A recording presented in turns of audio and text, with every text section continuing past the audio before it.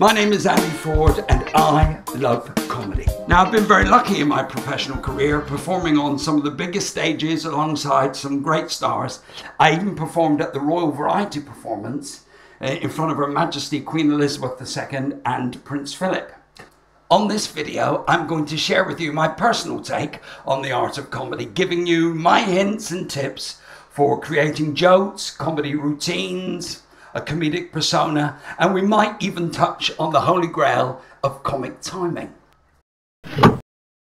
If you're trying to write a topical joke about two items in the news, maybe there's a big story about fur coats, there's a big story about the selling of new cars, then you'd put your title, fur coat, at the top of the page, new cars at the top of this page, and then you write a list of words and expressions that you think refer to a fur coat. For example, a fur coat to me would be expensive. If you could afford a fur coat, you could probably also afford jewelry.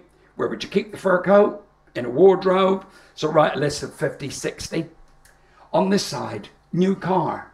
Where would you first see your new car? In a showroom. Where would you like to drive your new car? On the motorway. And where would you keep your new car? In a garage and then write a list about 50 or 60.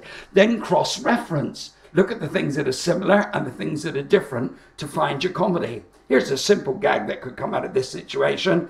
Last year, my wife and I argued about what to spend our limited Christmas funds for. My wife wanted a fur coat and I wanted a new car. Therefore, we compromised. She got her fur coat, but we keep it in the garage. So, out of the cross referencing, we get a gag fairly basic, but uh, the more you write, the more you find.